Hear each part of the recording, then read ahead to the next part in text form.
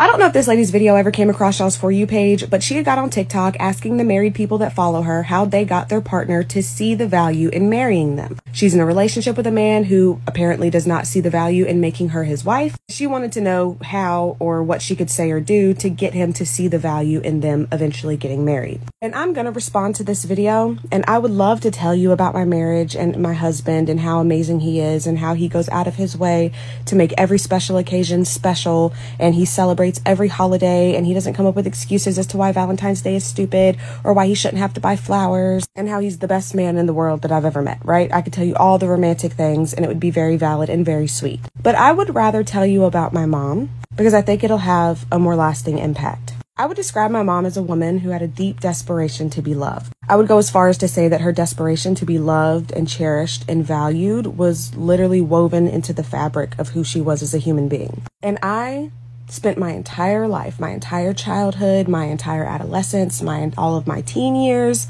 all of my early adulthood watching my mom sit around and try to convince the men that she was with to see the value in being with her. I sat around watching her beg them to love her, beg them to respect her, beg them to value her, and it never happened. Because you see, there is no issue with having a desire to be loved, but there is an issue with having a desperation to be loved because nothing good comes out of being desperate. I watched my mom forgive my dad for every single affair he had throughout the course of their marriage. I watched my mom get in relationship with boyfriend after boyfriend after boyfriend. I watched her beg the first boyfriend to see value in being loyal to her. I saw her beg the second boyfriend to see value in speaking to her like a human being. And I saw her begged the third one to not beat her in the face and knock her teeth out. And I watched her forgive and forgive and forgive and stay and stay and stay. Because my mom always convinced herself that she had more time.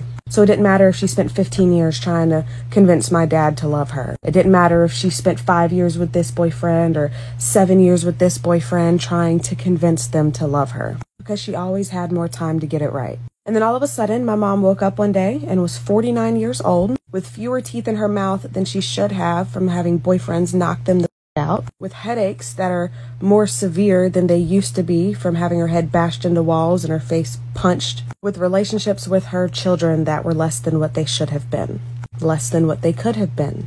Relationships with her children that were borderline destroyed by the men that she was desperate to be loved by, and she was dying.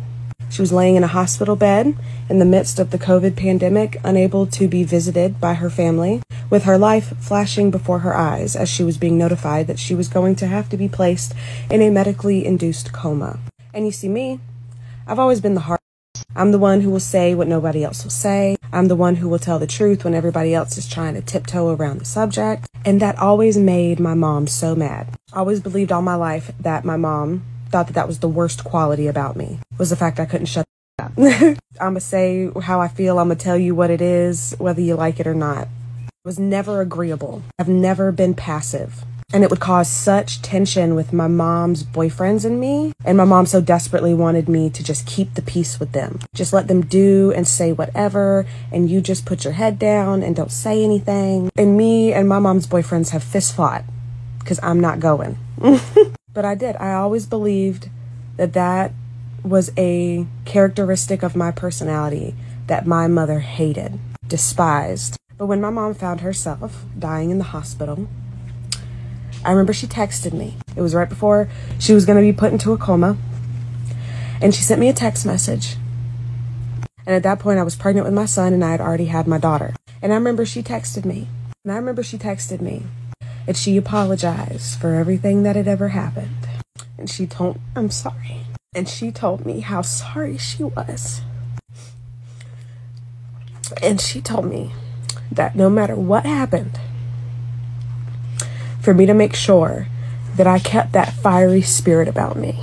And she told me that no matter what happened, to make sure that I raised my kids, especially my daughter, to be that exact same way. For me not to sit around and wait on nobody, for me not to sit around and beg nobody. And it was in that moment that I realized that my mom was laying in the hospital all by herself, regretting her life, regretting the decisions that she made. Because not one of those men was anywhere to be found when it came down to it because they didn't value her. Her being a good woman to them didn't get them to see it. Her begging and crying didn't get them to see it. And ultimately, her dying didn't get them to see it either. I remember I hadn't talked to my dad in years, and he called out of nowhere after my mom had died, like months after my mom died. And he was just trying to have conversation as if nothing happened. How you been, girl? How's married life? I heard you having another baby. This man hadn't talked to me in like seven years at that point. And I'm like, yeah, I'm doing all right. It's just been kind of hard. And he's like, what's been hard? What's the matter? So at that point, I'm just thinking he's out the loop, right? I'm like, well, you know, mama died.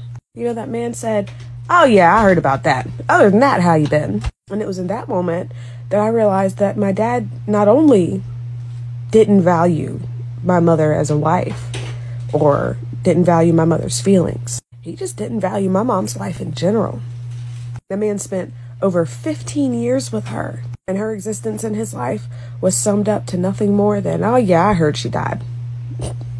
Besides that, you'll never get a man that does not value you to value you.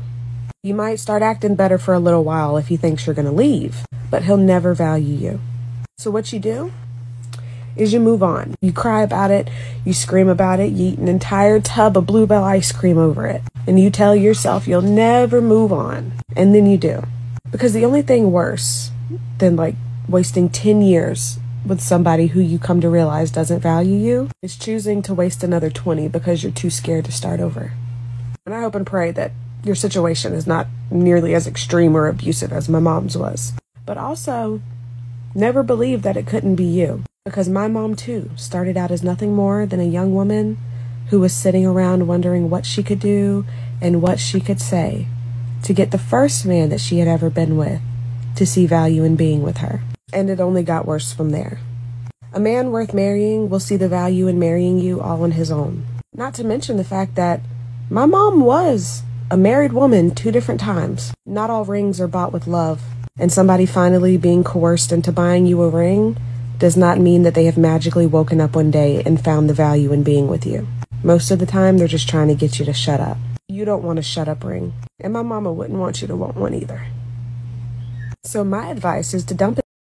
It'll be sad, but it'll get better before you're married. Promise.